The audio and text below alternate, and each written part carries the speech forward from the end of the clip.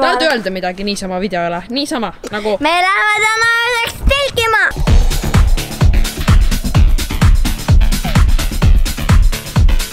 Oskar, okei okay,, tule siia, mul on vaja vaatamisi. selg sirgu. tere kõigile, mina olen Maria ja täna me lähme telkima. tere tulemast tagasi minu kanalile. täna me läheme telkima, nagu te olete probably mingi kolm korda juba kuulnud, sa võid siia tulla, Oskar. räägi, räägi. nüüd, kui me oleme majas, ma tundsin meeletut kuna me elame nüüdsest majas, siis ma tundsin meeletut sotsiaalset pinget ja survet, et ma pean nüüd mine-. Oskar, sa oled natukene häiriv, inimesed ei saa mu jutule keskenduda, kui sa ronid, eks. kuna me elame nüüd majas, siis ma tundsin järsku meeletut nagu survet, mille ma iseendale tekitasin, et me peame minema telkima.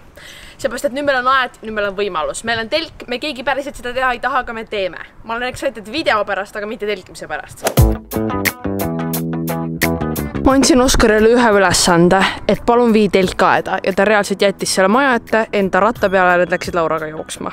Love my helpful siblings. okei okay,, ma üritan hetkel mõelda kohta, kuhu võiks telki panna. Ja ma arvan, et siia, sellepärast et meie nagu söögikoht on siin, kus me täna õhtul sööme, see on kohe lähedal, sealpool majas on kohe siin lähedal, nagu ma võiks ta panna kuskile kaugemale, aga nagu ma ei tea, kas ma tahan, nii et nagu, kas ei tundu teile mitte ideaalne koht nagu telgi panemiseks? ma arvan, et tundub küll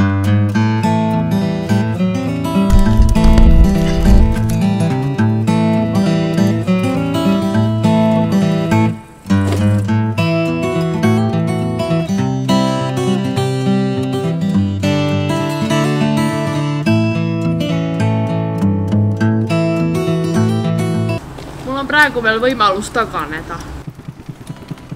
ja ma näitan Oskarile, mis, millega ta saab panna.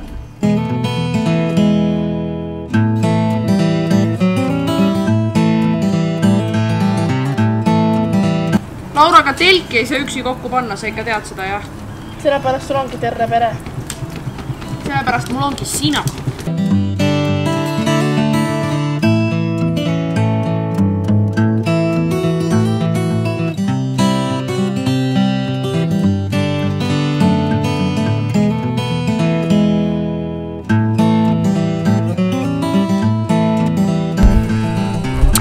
kaamera reaalselt ei rekordinud täpselt see hetk, kui mu telk valmis sai.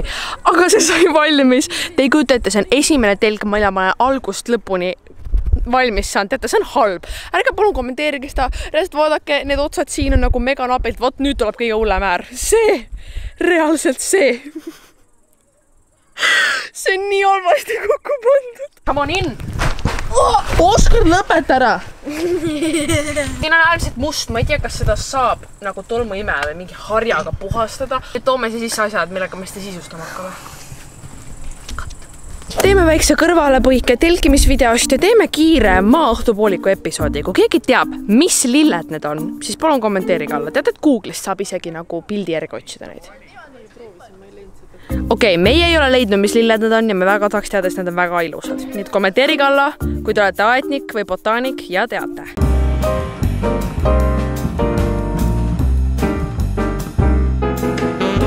mina annan topsi, sina valad aegloobist sinna mahla siis.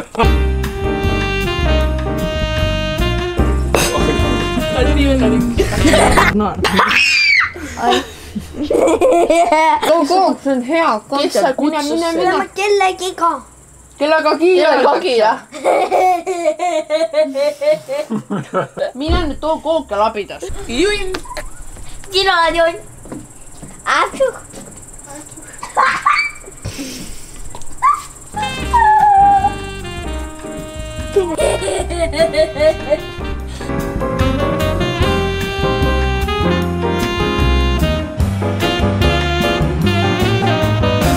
Nüüd mõne taldriku peale ka, et ma hea kaadri saaksin, kaua sa solgid seda sees. ma ootan hommikut. mina ka. meil on nüüd privileeg hakata käsitsi pumpama kahekohalist õhkmadratsit. Jei, kas saate aru, et ma reaalselt ei jaksa seda täis pumbata? aga hea uudis on see, et siis me vähemalt saame siin normaalselt magada. ma arvasin juba ei saa sellest pumbasüsteemist ka aru natuke tahan alla anda. ma tahaks nii väga lihtsalt tuppa minna, voodisse minna, siin on nii palju sääski, siin on lihtsalt nii vastik. Can't wait, et siin terve öö veeta. vaata, kui Oskar läheb nüüd pumpa viima issi juurde mingi meetri kaugusele. oh my gosh, tuleb fun.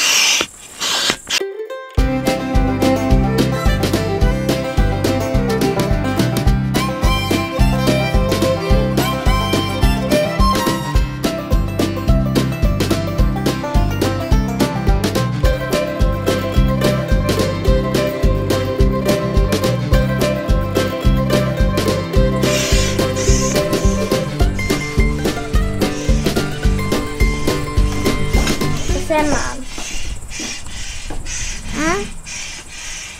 anna film. Oskar, mida sina teed, kui Laura reaalselt pumpab?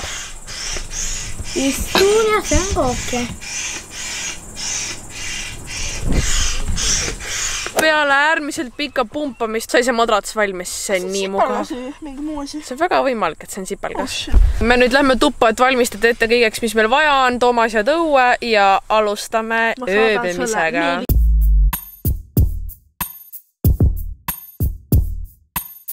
asjad, mida mina võtan õue telkima kaasa, meil on varusokid, sest mul hakkab alati külm, meil on hambari hambapasta ilmselgelt, et hambaid pesta.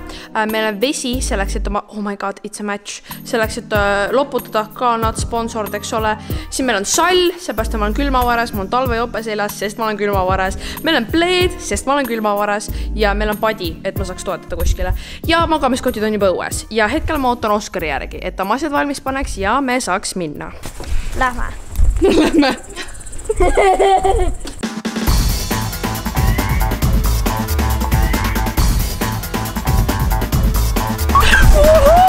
Lähme telkima. okei okay,, me cool montaaž on läbi, me nüüd sätime ennast sisse. nagu te teate, siis ilmselgelt mu õhturutiini juurde kuulub hammaste pesemine, nii et nüüd ma teen selle looduse ees. Oskar pesi juba hambad ära, ärge muretsege. sülitasid või? ma ei suuda otsustada, kuhu põõsasse sülitada. ma ei tea, nii. kelle magamiskott see on? Need on lihtsalt kaks tükki, me võime ise otsustada, anna ma teen lahti sulle. Ma näen siis selle. nüüd roni see sisse. kas need on nii siia omad või? jaa, muidugi. aa, nad siia peavad siia. roni sisse siia. lugu küll. ja, ja roni sisse kõigepealt. ma olen näinud mingi muu ah,, et üks jäi magamiskoti kinni ja me, naine mingi pani kuskilt selle magamiskoti lõpuni kinni, nagu pea läks lihtsalt nagu sisse ja nagu ta ei saanud lahti. veel sissepoole. ei mahu. appi, päriselt mul on kätel on või? aga ma saan iga kord selle taha lahti ja mingi käe lihtsalt sisse tõmbab. see on niisama muidugi ka, käed sisse Okei, nii. Ja siia on. mul on täiega palav praegu lihtsalt. me nüüd oleme ennast magamiskottidesse sättinud, ütleme nii, äärmiselt mugav on, mul on isegi väga soe meele üle, ma olen väga üllatunud. tavaliselt ma nagu, mul on reast kakskümmend neli seitse külm, aga praegu on mul täiega palav ja me oleme nii üle valmistunud, meil on absoluutselt kõike siin. Oskar, sa pead mind öösel üles ajama, kui sul külm on, eks mm. -hmm. siis ma panen sulle veel asju selga. meil on siin nagu terve kari mingeid soojasid asju. nii et nüüd me ütleme teile head ööd ja kui midagi on, eks me update ime teid, me hakkame telefonist prolli mingeid videoid vaatama, et igav ei oleks ja näeme teiega hommikul loodetavasti.